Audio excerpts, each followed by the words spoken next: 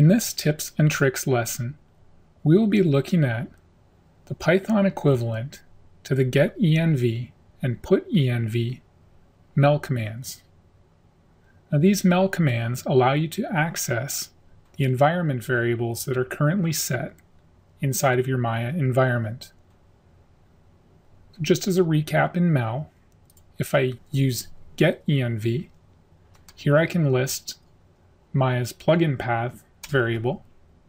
You can just see a list of all the paths where Maya looks to find plugins. And also the putenv command. This allows you to set your own environment variables. So here I'm just setting my custom env var to temp value.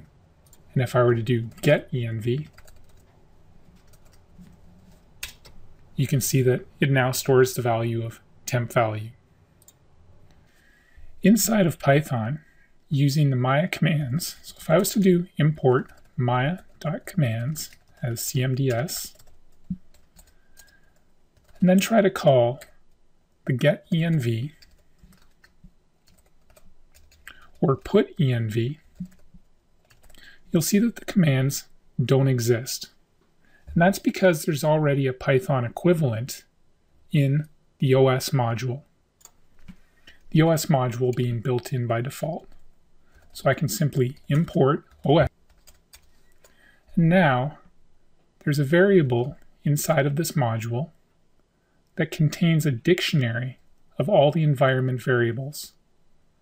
And this is simply the environ variable. So env I-R-O-N. Like I say, this is just a dictionary which contains all of your environment variables. So here I've got my own custom variable as well as my module path.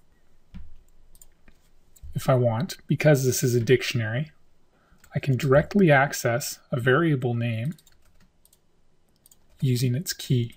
So here if I want to get Maya's module path, I simply have to pass in the name of the environment variable. Likewise, if I want to find my custom environment variable, can pass in that value. And again, you can see that it's returning the value stored inside of that environment variable. And additionally, the value that I set using putenv and mel is also contained inside of the environ dictionary. If I wanted to, I could change this value by simply assigning a new value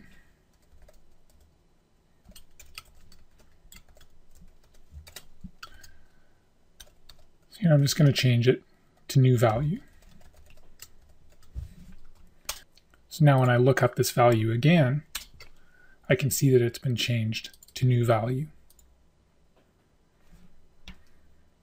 And just jumping back into Mel, if I run the get env command on my custom environment variable, it also contains the correct new value. So once again, when accessing environment variables in Python, simply use the OS module and access the environ dictionary.